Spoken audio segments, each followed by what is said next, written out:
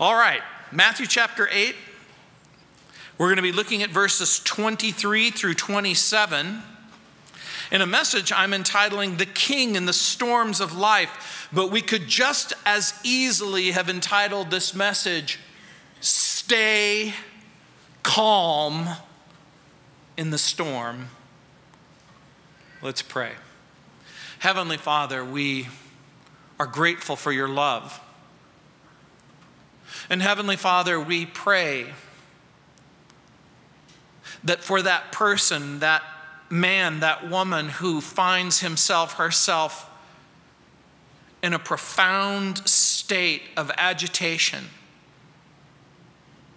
of difficulty, struggling with fear. Lord, we pray that you would speak to hearts this morning. Lord, we pray that you would remind us by your Holy Spirit that perfect love casts out fear. And Lord, again, I pray for that person troubled, in a dark place, in a difficult place. Lord, I pray that by your love and by your Spirit, you will bring a profound sense of peace. In Jesus' name, amen. Matthew chapter 8, beginning in verse 23. Now, when he got into a boat, his disciples followed him, and suddenly a great tempest arose on the sea, so that the boat was covered with the waves, but he was asleep. Then his disciples came to him and awoke him, saying, Lord, save us! We're perishing. But he said to them, Why are you fearful, O you of little faith? Then he arose and rebuked the winds and the sea and there was a great calm. So the men marveled, saying, Who can this be that even the winds and the sea obey him? Matthew records a series of miracles beginning in chapter 8. It goes through chapter 10.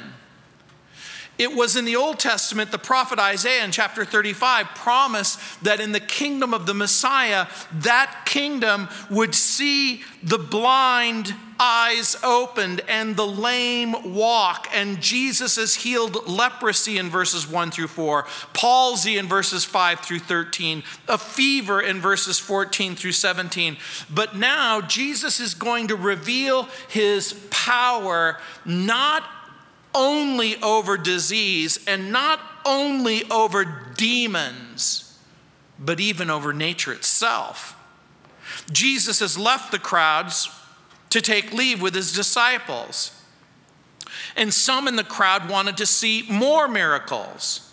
They remained curious about Jesus' identity and whether or not this might be the Messiah.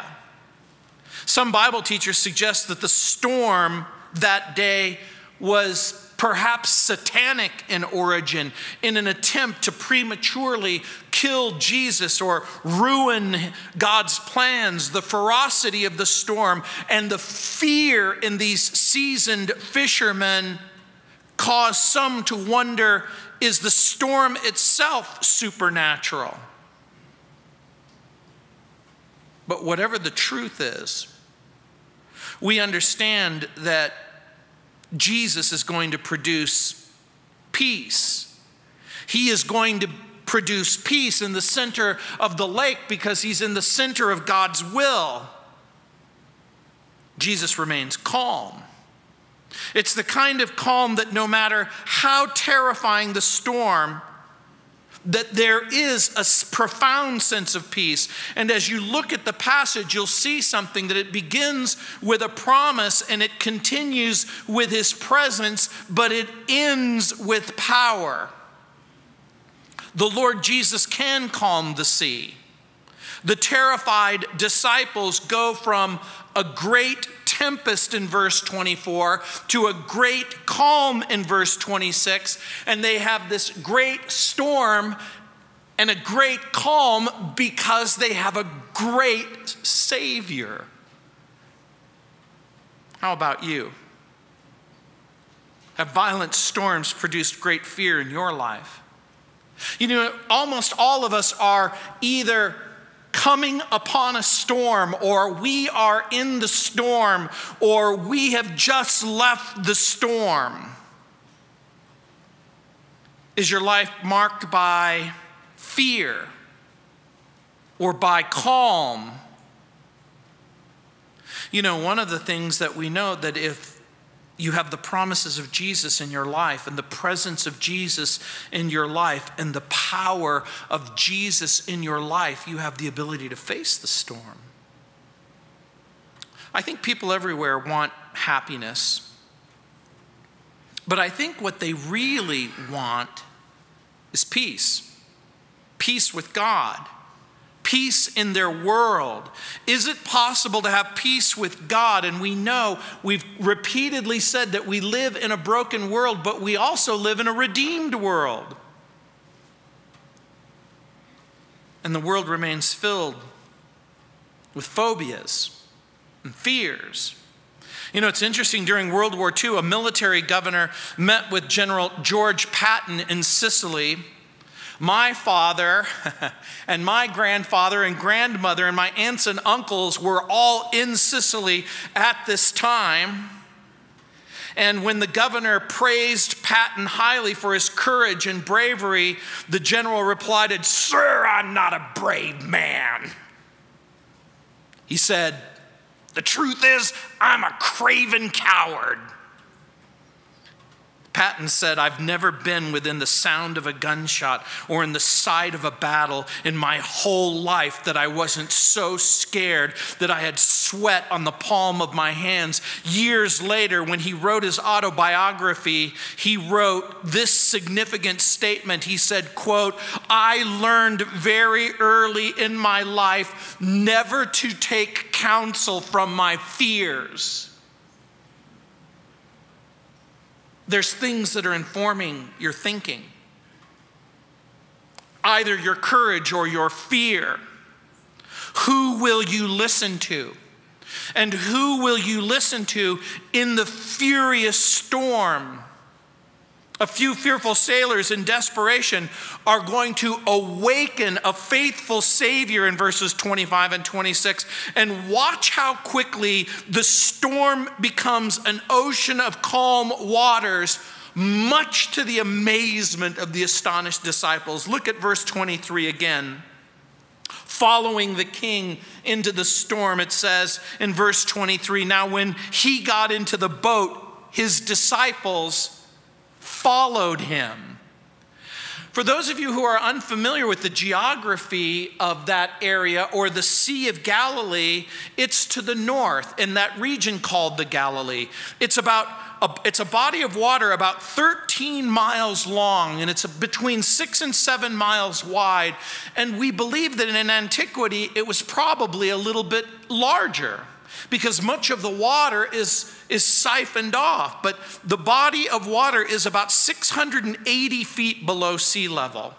And north of the Galilee is this beautiful mountain. It's called Hermon or Mount Hermon and it rises 9,280 feet. And that might not seem very tall, particularly for those of us who live here in Colorado.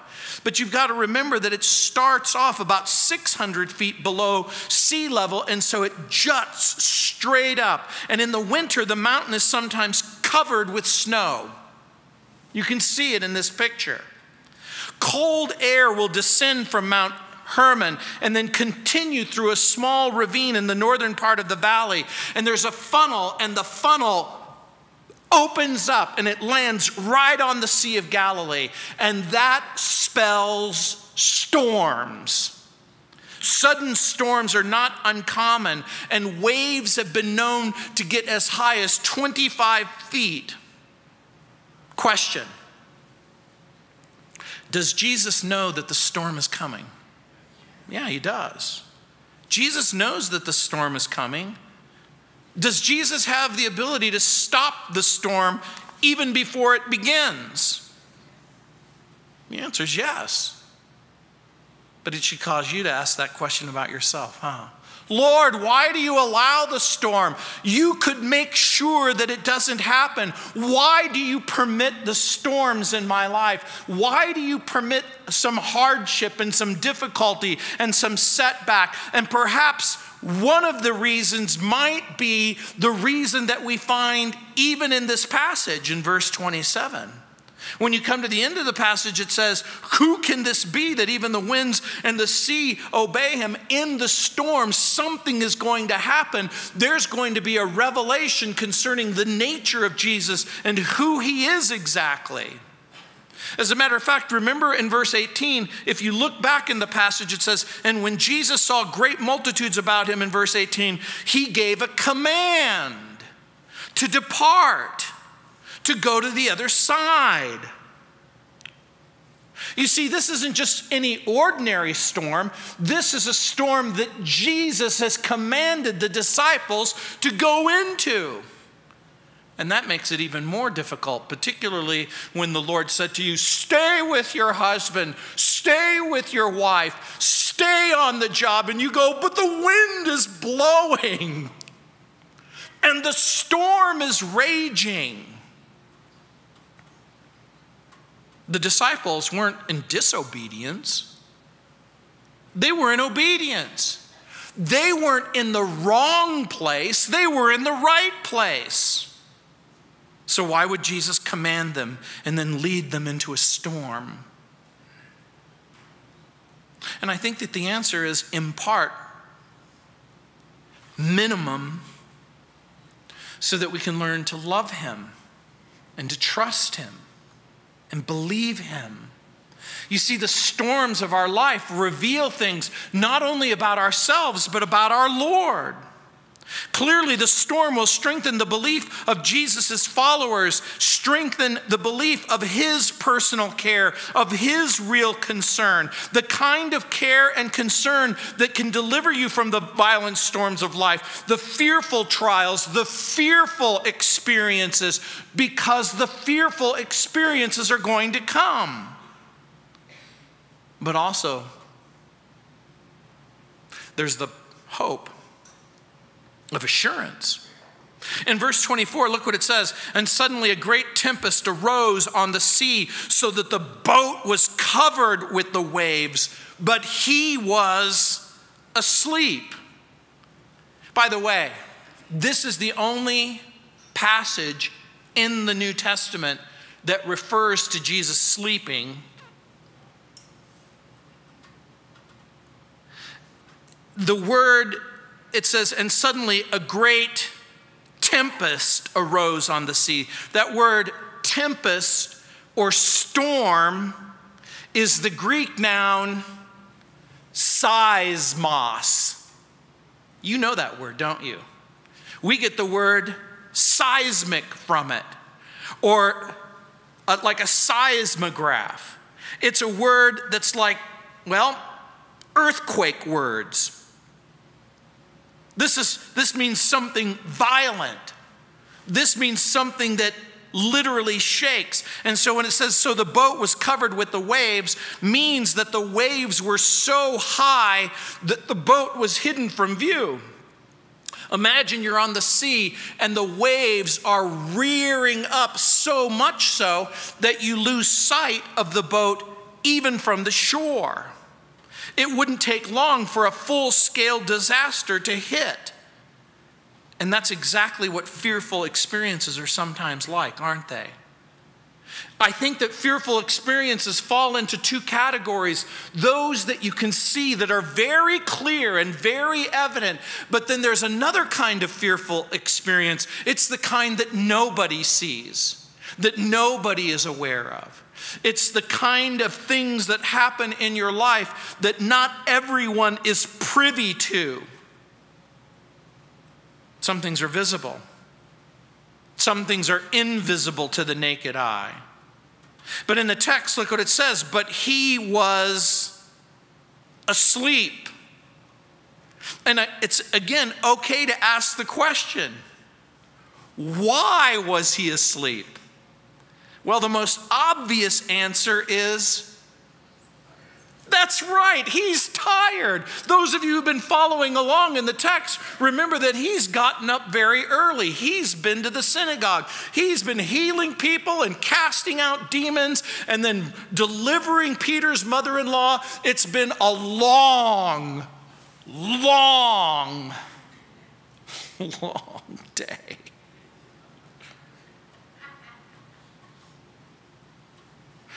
But it also speaks to something else his humanity. Jesus is a real human being.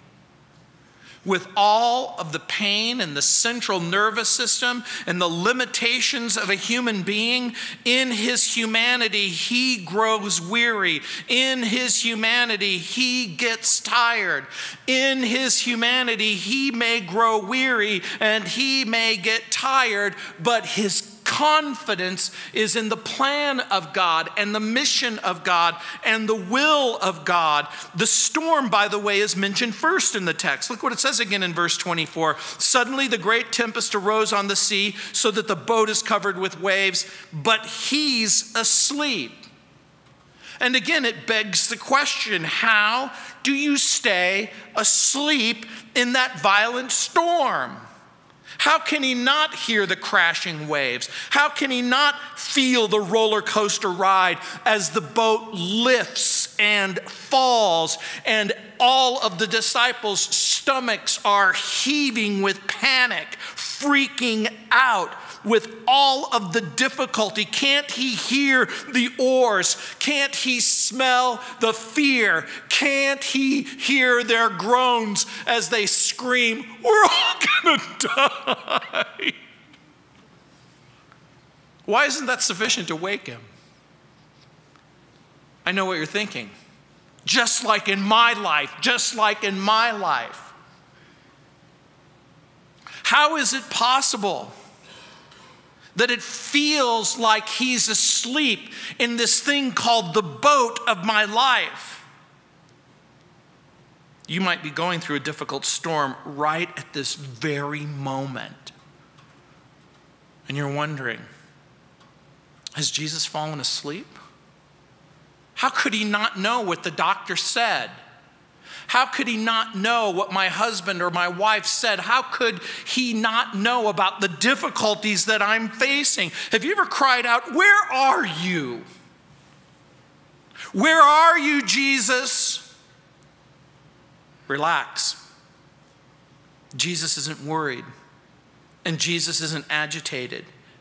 Jesus isn't pacing in heaven, freaking out, wringing his hand, going, I know I created the heavens and the earth, but what am I going to do about this? He doesn't get scared. He doesn't get alarmed. He never falls into a panic. He's always in control. And some people have the strange notion, they have the strange notion that if I don't feel the presence of Jesus, He's not there. And I want you to think about the text that you're reading because even though Jesus is there, they know He is present, but apparently He isn't conscious in such a way that He should be able to offer insight into their situation. One of the great central themes of the story of Jesus is his presence. And you'll remember what the Bible says in the New Testament. Remember what he said I will be with you, I'll never leave you, I'll always be with you. Sometimes you sense his presence profoundly. Sometimes you don't sense his presence. But God has the ability to see us and protect us and preserve us in the storm. I have another hard question. It's really not that hard. Everybody's going to get it right. Are the disciples and Jesus going to die that day? Are they going to die someday? I think that that's the right answer, yeah. The Bible says it's appointed once for a human being to die, and then the judgment. The truth is, each and every one of us face profound difficulties and circumstances, and one of two things is going to happen. We're going to be delivered in the storm or we're going to be delivered through the storm. But make no mistake about it, Jesus is going to effect a final deliverance for each and every one of us. People are gripped by fear. They worry about their job, they worry about their health, they worry about their future. What is it that frightens you? Is it the winds of change? Is it political incompetence? Is it the lightning of disaster? Is it the thunder of a crashing economy? Is it the implosion of our country? Is it the zombie apocalypse? You would think that that's what our culture is terrified of if you just do a quick survey of everything that's on TV. It's all about a post apocalyptic world where somehow we've managed to survive no matter what it is that seems to be crushing us. Isaiah 26, 3 says, You will keep him in perfect peace, whose mind is stayed on you because he trusts in you. There is a peace and a trust that's available for the person whose heart and mind is fixed on the Lord Jesus. And look what it says trusting the king in the storm. In verse 25, it says, Then his disciples came to him and awoke him, saying, Lord, save us. We're perishing. In, God, in Mark's Gospel, chapter 4, verse 35, we read, Jesus, at the beginning of crossing over, says, Let us cross over to the other side. Chuck Smith was fond of saying, Jesus said, cross over, not under. I like that. The reason why I like it is because the moment that Jesus gives a promise, you can be sure that he's going to keep the promise. We can trust Jesus when he gives us a promise. And He's given us promises. I've already alluded to one. Remember, I'll never leave you. I'll never forsake you. I will be with you. I will find you. I will walk with you. It's interesting to me. Peter, almost certainly in the boat, will later write in 2 Peter chapter 1 verse 4, he has given us his precious and very great promises, so that through them you may escape from the corruption that is in this world because of lust and may become participants of the divine nature. The truth is, God has given us promises. The issue isn't whether or not you've been given a promise. The issue becomes what will you do with the promise? What will you do with the promise that Jesus has given to you? And by the way, the disciples' prayer is short and let's be blunt. Do you think sincere? Let's read it again.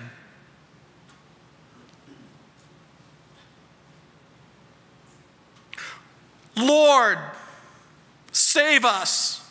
We're perishing. Amen. I'm thinking it's fairly sincere. Question Are they afraid? Yeah, I think that that's the right answer. They're seized with a fear that seems beyond their control. For some of you, that seems so foreign. It seems so distant. You've never experienced fear like that. But others know exactly about that fear. You know exactly what it means to be seized with a fear that seems beyond your control, that no matter how much you pray, and no matter how many Bible verses you read, no matter how much you try to get away from the fear, the fear remains. And I'm going to suggest to you that when they say we are perishing, what they're saying is we think we're going to die, and in a disaster, we need a Lord and not necessarily a teacher. The disciples aren't looking for intellectual insight on the nature of storms and tidal waves. They, they don't want to lecture about how big the waves are. They don't want to lecture about, do you realize that once your, your lungs fill with water, then that's when the oxygen is replaced and you drown and you die. That's not what they want to hear. It isn't a, a speech about natural disasters. We can make the choice to live next door to a volcano. But is there a place on the earth? Is there anywhere on the planet absent tornadoes, absent hurricanes, absent earthquakes, absent electric storms? Is there some place, is there any place on the earth where you can live risk free, problem free, no danger from anywhere or anyone? I don't think so.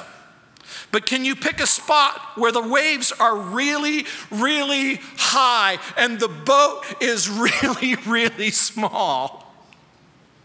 Well, that's on you. But I'm going to suggest to you that even if the waves are very, very high, and even if the boat is very, very small, the most important thing is who's in this boat with you? Who's riding with you? You know, I want to say a few words about fear. There was a French existentialist who said that each century can be summed up in a single word. He wrote, if I were to take the 17th century, he used the word mathematics. 18th century, he used the, the term natural sciences. In the 19th century, he put biology. And for the 20th century, he wrote the single word fear. He died before the 20th century came to an end. But I wonder what he might have written for the 21st century. What would you offer? Technology? Maybe more fear? Or what if you could pick a word? Because guess what? It is now 2015 and the 21st century still has a long way to go. Wouldn't it be great if we could find a word and make that word real for this century? Like the word faith or the word revival can you imagine if this became the century of faith? Can you imagine if this became the century of revival where people looked away from their sin and they looked away from the difficulty and they looked towards the reality of what it means to know and love the Lord Jesus Christ? I read somewhere where a wife's number one fear is that she's going to be abandoned. I read that a husband's number one fear is failure. What's the thing that grips you? What's the thing that causes you to stay awake at night or follows you in your dreams? Have you ever been so afraid that you thought that you might die? Or have you ever been so afraid because someone you love so much might die. We are all in the same boat. We're all subject to the same storms. And sometimes we want to abandon ship and bail out. But if it's true, if there's one thing true about the storm, and if there's one thing true about fear in the storm, it's that the that the storm intensifies our fears, magnifies them, and, and then gets them all out of proportion. There was a crusty old sea captain who used to use some pretty colorful language, and he was also an outspoken atheist. And one night in a storm, he was washed overboard, and his men heard him crying out to God for help. And when he was finally rescued, one of the men said, I thought you didn't believe in God. The old captain said, Well, if there isn't a God, there ought to be for times like this.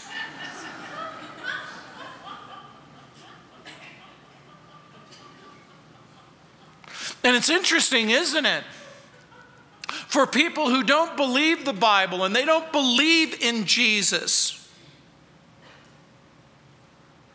It would be great if it were true. And I'm going to suggest to you that it is true. In the storm, sometimes people are willing to ask and question their deeply held convictions. What do I really believe? What do I believe about this world? What do I believe about the world's problem?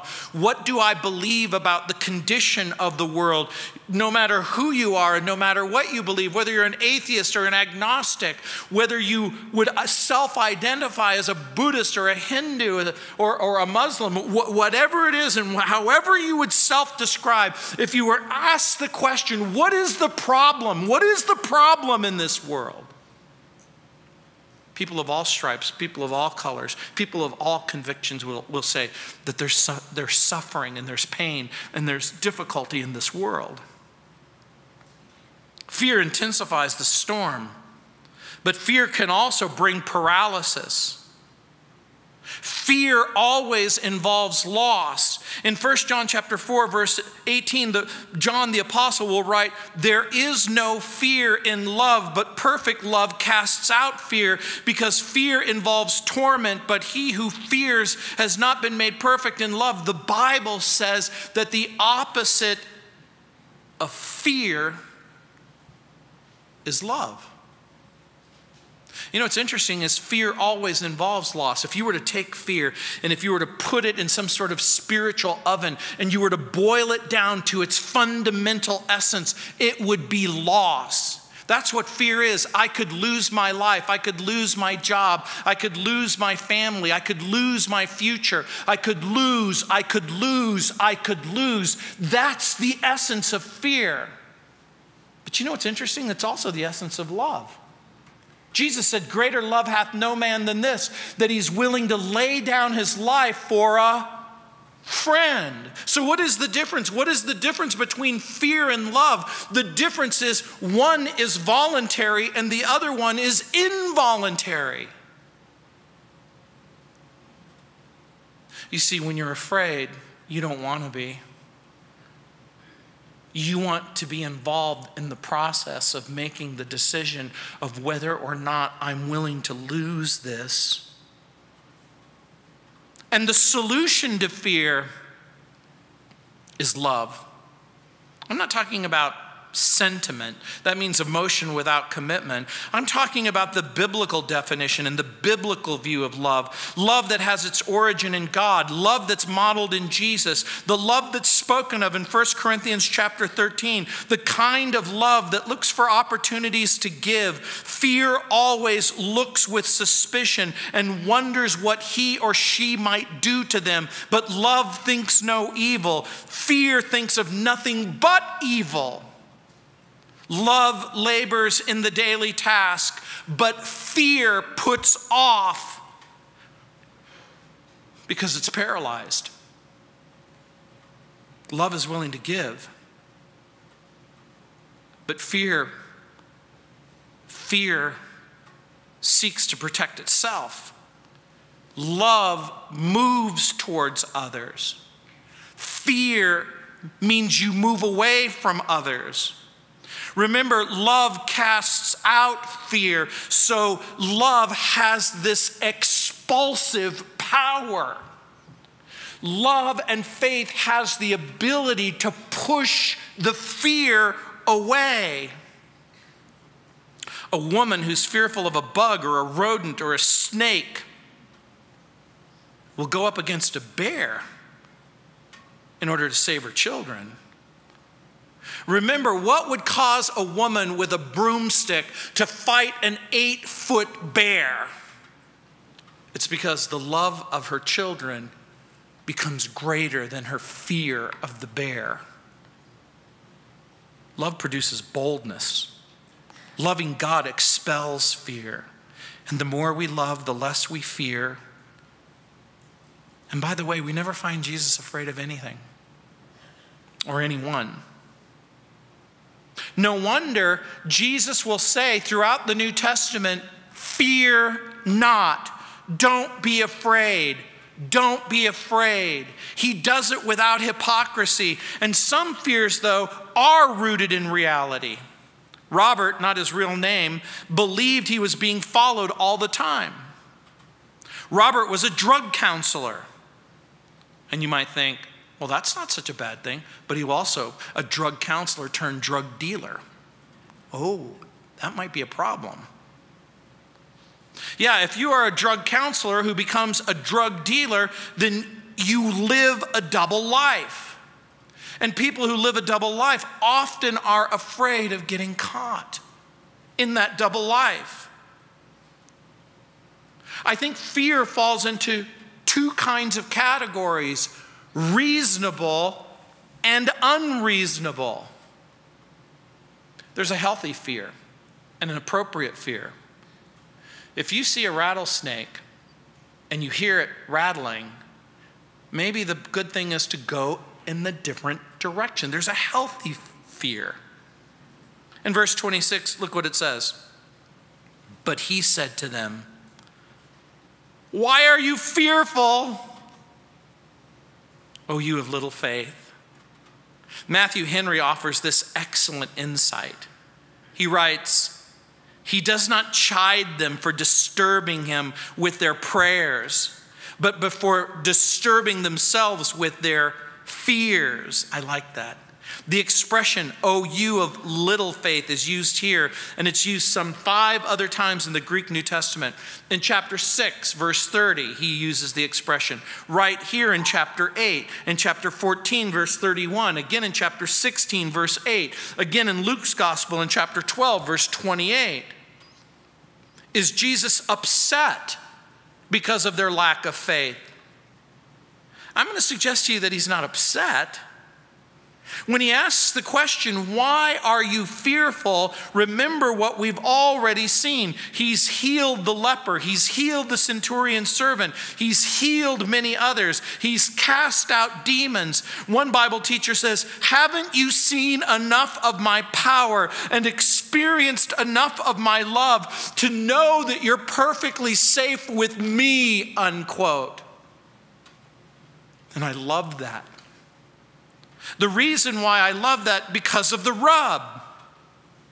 If we say it out loud, it sounds shocking.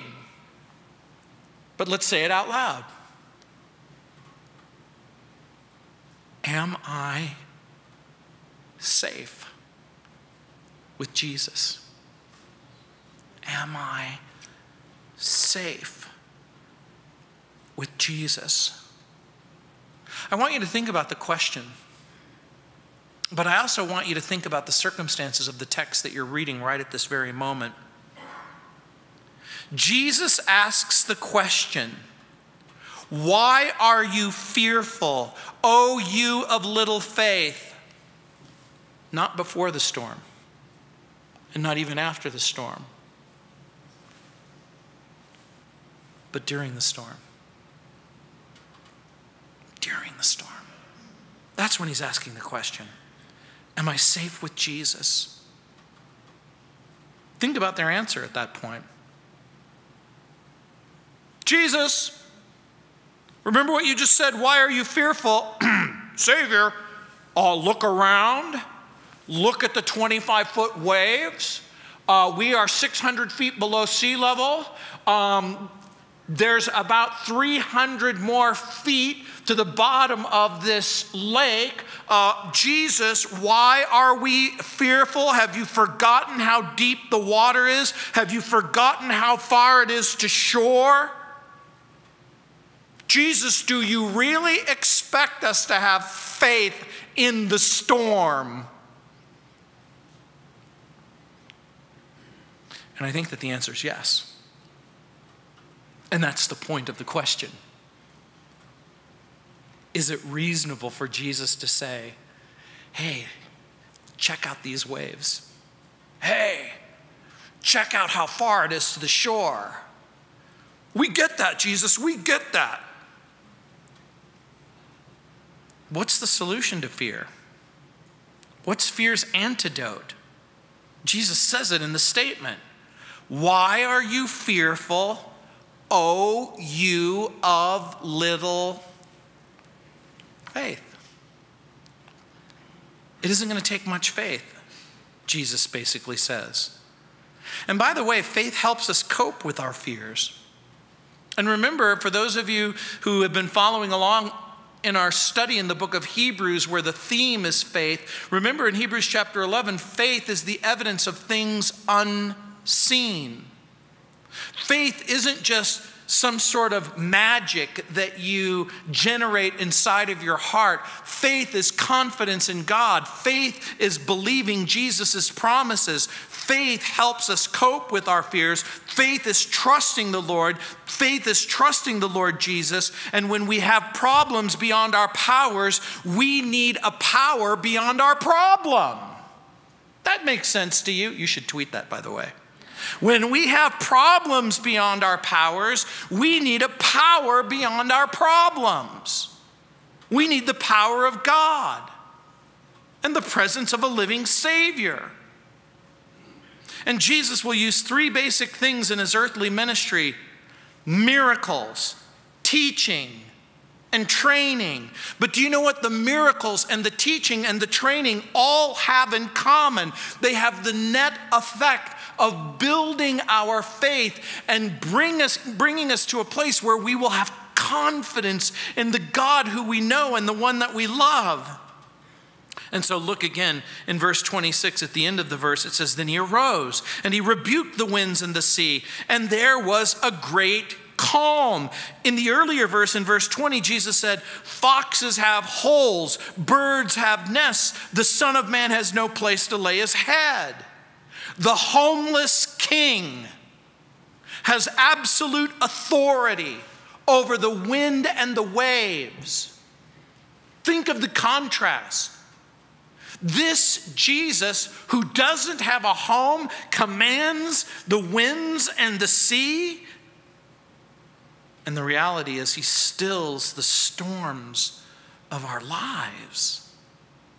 And that's the point of the passage. In Mark's Gospel, chapter 4, verse 39, Mark translates this or says, Peace, be still.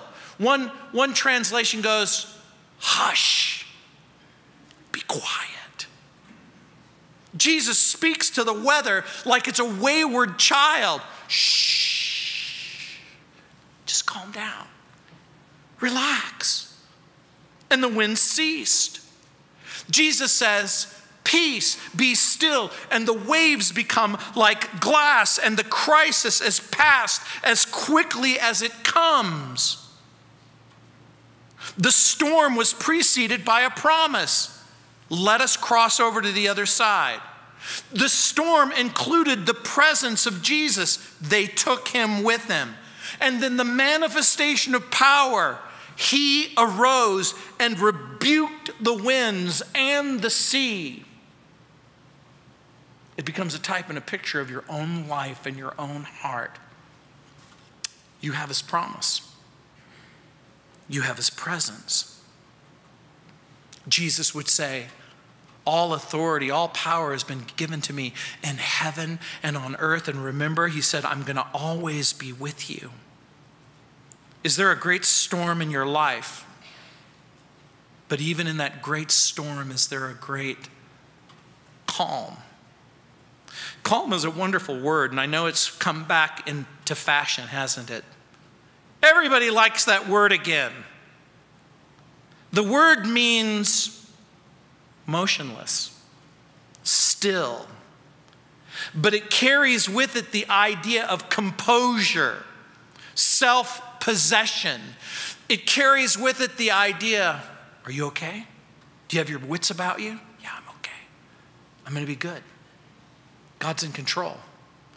Not just some sort of Christian cliche, not just some sort of bumper sticker, superficial statement. No, Jesus has given me his promise. No, I'm walking in his presence. I'm experiencing his power. What brings calm? The absence of the storm? The innocence of the heart? I think it's confidence in God. Faith fights fear. Faith fights fear and brings calm. Do you doubt the divine wisdom? Do you doubt his power? Do you doubt his love? Is Jesus on the boat that you call your life? What's interesting is petition and prayer brings calm. What have you told Jesus about the storm? You know, in Isaiah chapter 30, verse 15, it says, For thus says the Lord God, the Holy One of Israel, in returning and rest you shall be saved. In quietness and confidence, that shall be your strength. And then it says these sad words, But you would not. And you said, No, for we will flee on horses. Therefore, those who pursue you shall be swift. In the passage, return and rest or run away. Return and rest or run away. In verse 27, it says So the men marveled, saying, Who can this be that even the winds and the sea obey him? Does it surprise you that the Creator, the Creator, the Creator of the universe, has power over his creation? The universe is subject to God. There's not a single renegade molecule anywhere in the universe. The writer of Hebrews says that Jesus sustains the world by the word of his power in Hebrews chapter 1 verse 3. Colossians 1:15, he is the image of the invisible God, the firstborn over all creation, for by him all things were created that are in heaven and that are on the earth, that are visible and invisible, whether thrones or dominions or principalities or powers, all all things were created through him and for him. The Bible teaches Jesus has control over everything, including the storms that blow into your life. In Psalm 89 8, it says, O Lord God of hosts, who is like you, O Lord? Your faithfulness surrounds you. You rule the raging of the sea. When its waves rise, you still them. Isn't it interesting? In Psalm 89, verses 8 and 9, when it says, The Lord Jehovah God of hosts causes the waves to stand still. And here in Matthew chapter 8, Jesus causes the waves to stand still. Who is he? Who could he possibly be? Is he the sovereign Lord? Is he Israel's Messiah? Does his power and care extend to you? You know, there are two kinds of people, I think Italian people and those who wish they were. No, those aren't the two again. those who are woefully ignorant of Jesus and willfully ignorant of Jesus. Woefully and willfully ignorant. I want you to just ask that question just for a moment. It's okay even to ask your family and your friends who do you think he is?